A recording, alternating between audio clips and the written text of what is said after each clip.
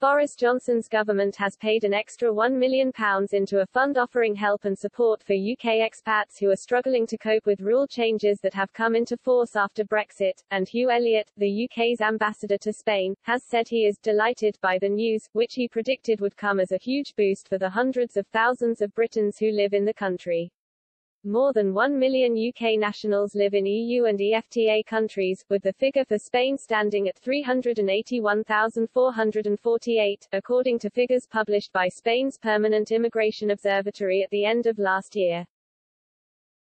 The extra cash, which comes on top of £3 million already allocated by the Foreign, Commonwealth and Development Office FCDO, earlier this year, will go towards providing practical support for UK nationals living in the EU.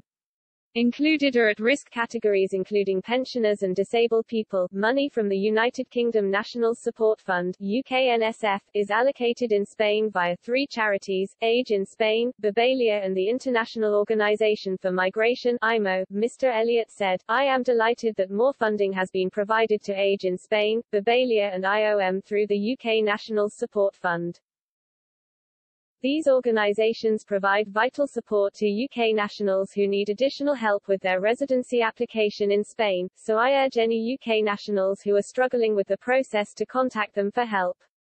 Speaking last month, Foreign Secretary Dominic Raab said, these organizations are doing vital work to support UK nationals in the EU and this funding will help secure their rights under the withdrawal agreement, so that they are given the security and stability they need.